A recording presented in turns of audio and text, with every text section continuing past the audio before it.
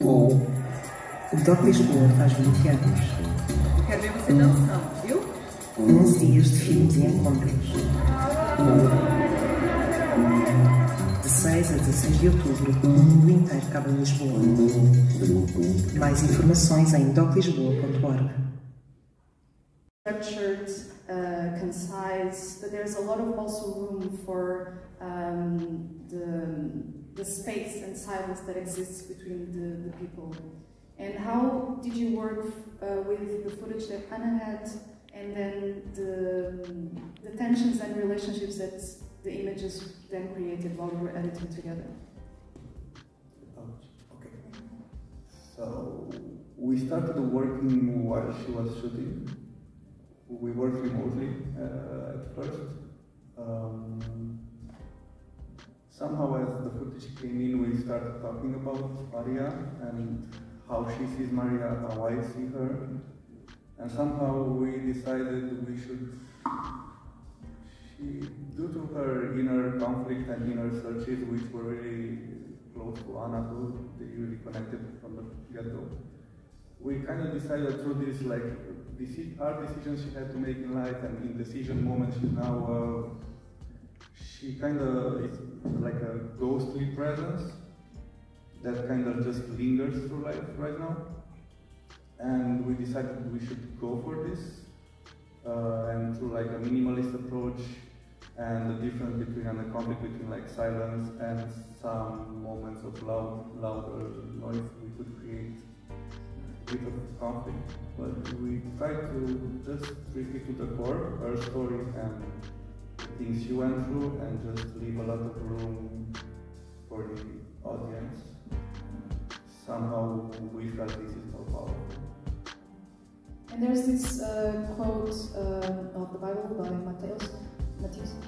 Um, how did it um, punctuate the film? Like how, how because it comes um, at a point where the relationship of Maria with um, religion is um, very is obvious, but then it complexifies it, and then it becomes this relationship between um, the celestial family, you know, this relationship with uh, the hierarchy or the positions of a mother, a father, a child, and then related to the family.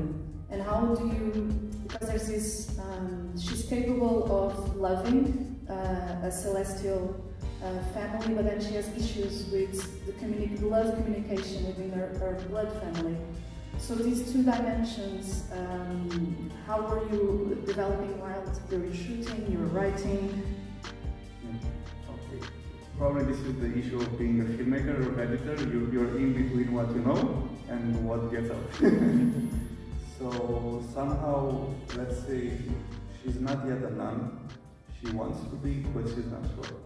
She left her kids behind because she realized the love she feels for them is not the love a mother should feel. It's not as strong as a mother should feel. So she probably this created a big conflict in her. So she approached and found a place here in the Orthodox Christian community, In Lisbon. And somehow she's torn between these two because she feels she gets she, she's not in neither of them. She can be a mother, but she cannot be a man. And both of them kind of uh, have the same core issue, which is mm, her. And uh, I, for us, we thought this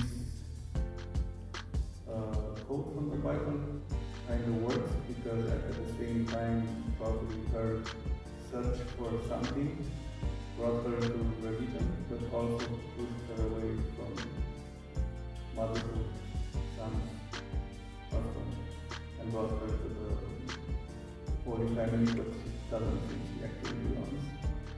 She has some problems with it.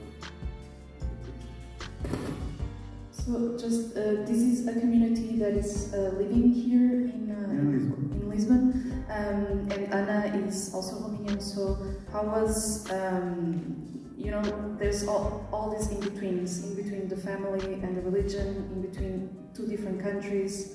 Um, was that, did that, in, the, in the community here, did it influence also how you were working on the film and what kind of relationship that you had with the people that were in it? Yeah, I would say totally. We we met Maria like together. I was about to leave Lisbon, and we were living in a castello, and we were just walking down up the street, and we just saw Maria.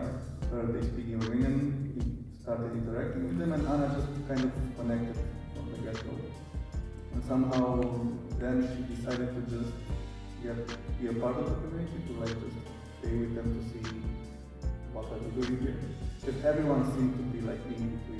All of the people here were kind of like belonging here, but we wouldn't belong here.